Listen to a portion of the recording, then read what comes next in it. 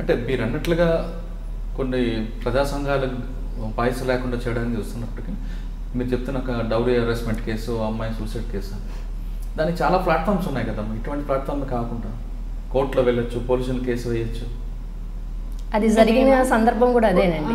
కోర్టులో కోర్టులో police స్టేషన్లోనే case పెట్టాలి. అనేసే వెళ్ళారు వీళ్ళు. పోలీస్ స్టేషన్లో కేసు పెట్టాలి అని అంటే వాళ్ళు పెట్టలేదు. పోలీసులు కేసు పెట్టలేదు. కేసు పెట్టకపోవడం వల్ల రోడ్డు మీదకి వచ్చారు. అంటే పోలీస్ స్టేషన్లో కేసు పెట్టకపోతే దానికి ఇంకో మార్గం కూడా ఉంది పోలీస్ స్టేషన్లో ఎస్ఎస్ఓ కేసు పెట్టలేదంటే. కోర్టుకు వెళ్తే కోర్టు డైరెక్షన్ ఇస్తుంది కదా. ఇప్పుడు ఏదైనా అంటే ఒక చిన్న సంఘటన అది ఆ బాడీని ఆమె చనిపోయిన తర్వాత ఆ బాడీని తీసుకెళ్ళి అత్త అత్త వాళ్ళు చేయాలి కదా మామూలుగా. దహన సంస్కారం. అత్త వాళ్ళు చేయాలి. అది వాళ్ళు మాకు సంబంధం లేదు అని అన్నారు. సంబంధం లేదు అని అన్నప్పుడు తల్లిదండ్రులు మరి మేము ఎట్లా చేస్తాం? పెళ్ళి చేసేసి ఇచ్చేసిన తర్వాత అత్తమామలు చేయాల్సిన కార్యక్రమాన్ని తల్లిదండ్రులుగా మేము ఎట్లా చేస్తాం? తల్లిదండ్రులు ఎప్పుడు చేయాలి అని అనుకుంటే అత్తమామలు లేరు అనుకున్నాం అవును. ఆమెకు మెట్టినీళ్ళు లేదనుకున్నప్పుడు మేము చేస్తాం. అక్కడ ఉంది కాబట్టి మేము చెయ్యము. అనే దగ్గర తల్లిదండ్రులు నిలబడ్డారు. ఈ బాడీని వాళ్ళే తీసుకెళ్ళి చేయాలి అనేది. అప్పుడు ఈ తల్లిదండ్రులకి సపోర్ట్గానే వీళ్ళు ఉన్నారు అచ్చా వాళ్ళకి మద్దతుగా మీరు ఉన్నందుకు మీ మీద కేసు. ఆ కుటుంబ సభ్యులే ఫస్ట్ బయటకు వచ్చింది. కుటుంబ సభ్యులే వచ్చారు. న్యూస్ కూడా టీవీ న్యూస్ కానీ పేపర్ న్యూస్ కానీ కుటుంబ సభ్యులు ఇట్లా ఫైట్ చేస్తున్నారు అని అనుకున్నప్పుడు వాళ్ళకి మద్దతుగా వీళ్ళు వెళ్ళారు. వెళ్ళినందుకు మీ మీద ఒక ఆ. కేసులతో పాటు ఇంకేం జరిగాయా? లేదంటే సడన్గా మీ ముగ్గురిని తెర మీద తీసుకొచ్చారా? అదే మా ముగ్గురిది అంటే పోస్టర్ల నుంచి Sudden గానే తీసుకొచ్చారండి. సడన్గా అంటే పోస్టర్లు అంటే నేను విశాఖ జిల్లా కార్యదర్శిని సిఎంఎస్ చైతన్య మహిళా సంఘం.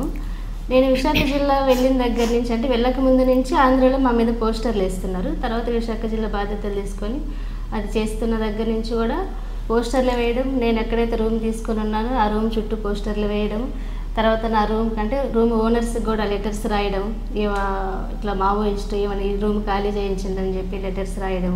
అట్లా గొడవ కూడా అయింది. గొడవ అయితే చాలాసార్లు విశాఖలో ప్రెస్ మీట్లు పెట్టినాము. పెద్ద ధర్నా కూడా చేసినాం. మా మీద ఇట్లా కుట్రపూరితంగా చేస్తున్నారు అని. తర్వాత ఓనర్స్తో మాట్లాడినాం. ఓనర్స్ ఏంటంటే మాకు ఇట్లాంటి ఇబ్బంది లేకపోతే మీరు ఉండొచ్చు. లేకపోతే మాకు ఇబ్బంది అయితే ఉండొద్దు అనేది వాళ్ళు మాట్లాడింది సరే నేను తప్పు చేసినది మీకు అనిపిస్తే మీరు ఏం చేసినా నేను దాన్ని తలంచుతానని చెప్పి మాట్లాడి అట్లా ఉన్నామన్నమాట. ఎక్కడున్నారు విశాఖలో? విశాఖలో మద్దెలపాలెం ఉన్నది. అంటే లెటర్స్ వేసిన నేను రూమ్ అంటే విశాఖ నుంచి మరి మహిళా సంఘంగా అక్కడ నిర్మాణం అనేది ఉండద్దు అనేది గవర్నమెంట్ అనుకున్నది. ఆ ప్రాసెస్లోనే ఉన్నారు అక్కడ నుంచి నేను అదే రోజు అంటే ఒక రెండు రోజుల ముందు అరెస్ట్కి ఒక రోజు రెండు రోజుల ముందు వచ్చా హైదరాబాద్కి. అది కూడా ఆరోగ్యం హెల్త్ బాగా చూపించుకోవడం కోసమే వచ్చిన అనమాట వచ్చినాము. డాక్టర్కి ఫోన్ చేస్తే కూడా క్రిస్మస్ ఉంది కాబట్టి ట్వంటీ సెవెంత్కి రమ్మని చెప్పి అన్నాడు. అట్లా ఆగామన్నమాట. అట్లా పట్టుకెళ్ళారు. అంటే మీరు అక్కడ ప్రజా సంఘాల కోసం పోరాటం చేసిన మీకు హైదరాబాద్ వస్తే ఇక్కడ మీకు అరెస్ట్ చేశారు. అరెస్ట్ చేసింది కూడా ఆంధ్ర వాళ్ళే. విశాఖ వాళ్ళు అరెస్ట్ చేశారు. అక్కడికే తీసుకెళ్ళారు. మమ్మల్ని. సరే మరి మీరు విశాఖపట్నం వెళ్ళారు మద్యపాలెంలో రూమ్ తీసుకున్నారు. సరే ప్రజా సంఘాల కోసం తిరుగుతున్నారు.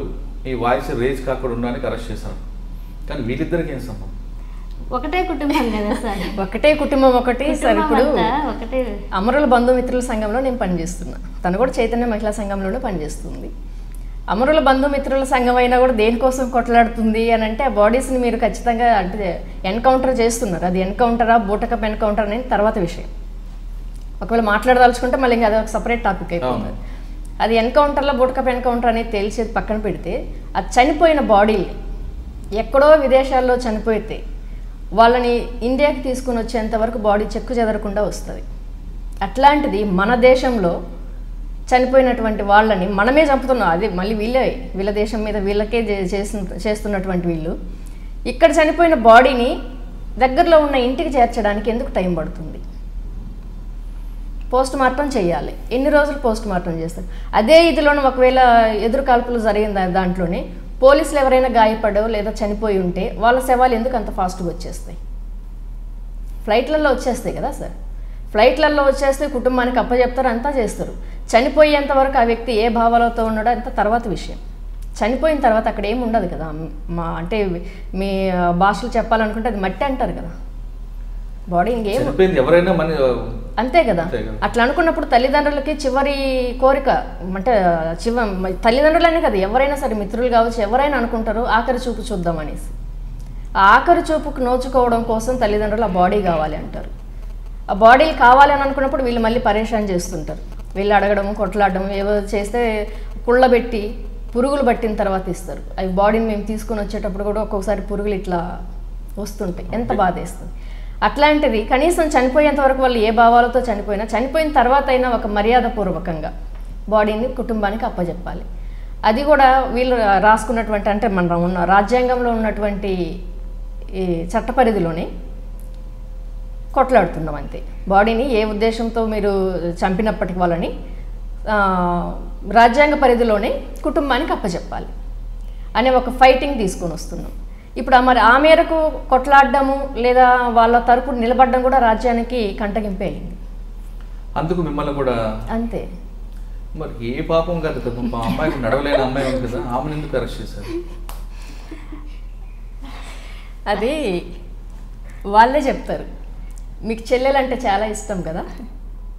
చెల్లెలంటే చాలా ఇష్టం. మమ్మల్ని అరెస్ట్ చేసినప్పుడు అదే అన్నారనమాట చెల్లెలంటే మీకు చాలా ఇష్టం కదా? అంటే అవును చాలా లాస్ట్ అమ్మాయి కాబట్టి తల్లిదండ్రులకు కావచ్చు ఎవరికైనా లాస్ట్ అమ్మాయి అనుకున్నప్పుడు కొంచెం ప్రేమలు ఎక్కువ ఉంటాయి. అవును ఇష్టమే. అంటే వాళ్ళు అయితే ఇక్కడ వీళ్ళని అడిగి ఏం ఉపయోగం ఉండదు. వాళ్ళ చెల్లెల దగ్గరికి వెళ్ళండి అని అంటారు. ఎవరు? పోలీసులు. పోలీసులు. అంటే అది బెదిరింపు. అంటే ఆ- అంటే ఆ సెంటిమెంట్ ద్వారా అంతే. అంటే ఈమెను అడ్డం పెట్టుకొని. కుటుంబాన్ని కుటుంబాన్ని బెండ్ చేయాలి అని అనుకున్నప్పుడు దీని నుంచి బయటికి తీసుకురావాలి అని అనుకుంటే పిల్లలు. ఆ పిల్లల్లో కూడా ఎవరు అని అనుకుంటే ప్రేమ కలిగిన వాళ్ళ మీద ఇంకా ఎక్కువ.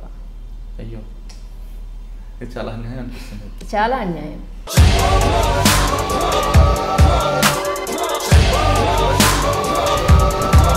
ఆ ఫోటోలో ఉన్న వ్యక్తి ఎవరమ్మా? మీ ఆయన? చనిపోయారా? అయ్యో ఎక్కడ పడితే అక్కడ.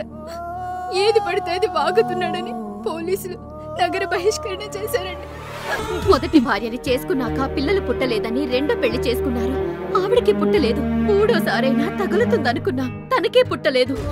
ఆయన దగ్గర బాణం ఉంది కానీ దానికి పదును లేదురా.